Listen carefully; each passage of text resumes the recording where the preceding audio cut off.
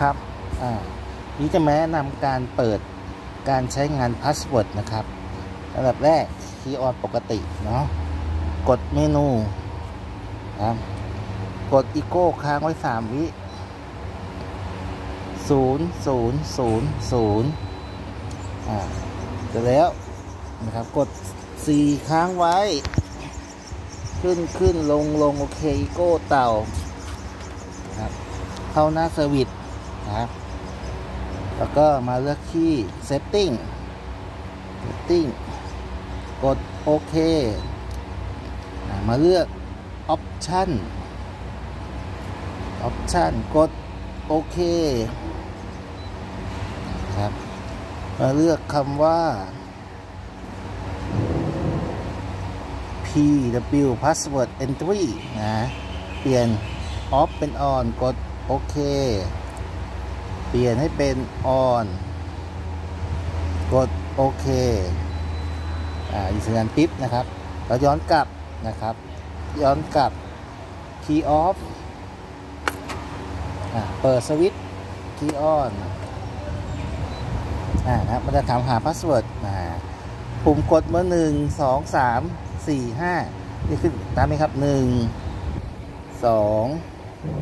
สามสี่ ห้าสี่ก็คือย้อนกลับหรือ cancel รหัส password ครั้งแรกนะครับ ที่ตั้งแต่โรงงานก็คือหนึ่งหนึ่งหนึ่งก็คือโอเคหนึ่งและหนึ่งหนึ่งหนึ่งหนึ่งโอเคเนี่ยเราต้องการไปเปลี่ยน password นะครับ กดเมนู กด eco ค้างไว้สามวิค่ะศูนย์ศูนย์ศูนย์ศูนย์มาเลือกที่ password change password change กดโอเค เป็น password ของผู้ใช้งานคือผู้ครับ operator เลือก operator ตรง manager อย่าเปลี่ยนนะครับ กดโอเคนะครับ password สามารถตั้งได้ถึง 10 password 10 password นะ password ทุก password ที่ตั้งประจำงานคือ 1 ต้อง 1 หมดเลย 1 4 ตัวนะครับ ต้องการเปลี่ยนตั้งเป็นคนที่ 1 กดโอเคอ่าเลือกเบอร์นะครับ1 2 3 4 5 4หลัก1นะครับ1 2สามสี่ อ่ารอสัญญาณปิ๊บครับ password ที่เราตั้งคือหนึ่งสองสามสี่สำหรับ password ที่หนึ่ง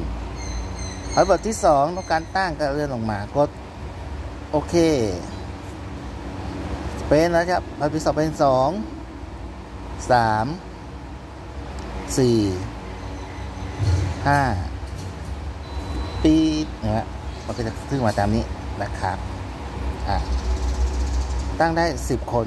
สิบ password นะครับ แต่ไม่สามารถเข้าไปดูชั่วโมงงานการทำงานของของแต่ละ password ได้นะอะเสร็จแล้วกดย้อนกลับ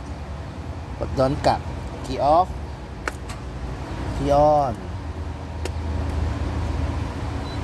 อ่าสมมติคนที่ 2 จะมาขับก็ใส่ password ของตัวเองไปก็คือ 2 2 คือตรงนี้ 2 3 3 4สี่ห้า นี่คือ password คนที่สองอ่าได้สิบ password นะครับแบบอันนี้